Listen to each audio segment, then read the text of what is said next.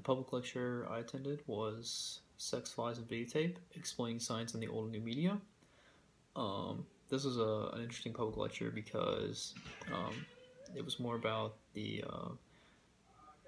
scientific journalism rather than an interesting scientific discovery. Um, the speaker's first point was that he made, or that he was drawn to scientific journalism because of its um, less combative nature than regular journalism, where you know, as in scientific journalism, there you present the facts, whereas in political journalism, you may have two or three opposing sides basically just arguing with each other.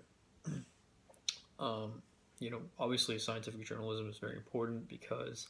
it's how you convey convey uh, important scientific discoveries and ideas to you know the general public who, who don't have the extensive background in field of science. Uh, so scientists and journalists but they have to work very closely together because they want to convey convey this important information correctly.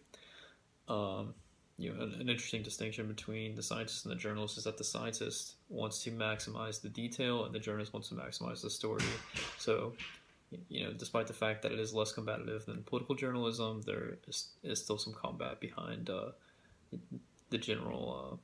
uh, uh, story writing process in scientific journalism. Um, and actually, one interesting thing that the speaker pointed out was that there's been a general shift from writing to video in scientific journalism. Um, and this is just because it makes it easier to understand uh, some really complex scientific ideas in a short amount of time. You know, uh, when you're reading about a, a, really complex scientific discovery, especially if you don't have a, you know, um, you know, bachelor's degree or PhD in, you know, physics or biology or whatever subject you're reading about, it can be very extensive to you know read a long you know several thousand word article about that subject that you you know hardly understand in the first place but having visual aid and someone explain it to you auditorily can make it much uh, much much more easy to understand. Um, and so that was actually one of the speakers focuses of his career was these little two minute um, creation uh, videos that he uh, that, that, he had begun to make on a variety of scientific topics. Um, so kind of to wrap it up, um, you know, the speaker said that effective journalism, you always have to put the audience first. Um, and you always want to make sure that you connect with the audience. So you make a simple, relatable metaphor, and then obviously to maximize the story, you want to amplify the cuteness or the violence factor in your story. Um,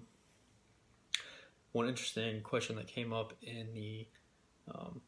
question and answer session was, you know, how uh, scientific journalists are able to convey these very complex scientific ideas in such a short amount of time. And obviously, uh, you know, this was something that the speaker struggled with, and something that all scientific journalists should struggle with. Um, but um, you know, basically, um, you know, his conclusion was that you're not going to be able to convey every detail um, of science to the general public just because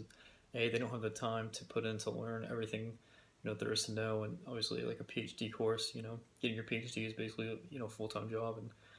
you know someone who already has a full time job doesn't you know have have the time to to learn all those um, you know precise details. And so you try to make it as relatable and uh, you know as possible and as understandable as possible to a general person which you know scientific journalists know basically as much about science as you know uh, someone who just works you know any ordinary job uh, that you might see you know that doesn't have a uh, an extensive background in science. So um, you know, just make it as relatable as possible and, um, you know, try to be as accurate as possible so that people can have the uh, most informed understanding of, uh, you know, each subject that they're they're reading or, um, you know, watching a video about. Um, so that was basically his uh, his public lecture.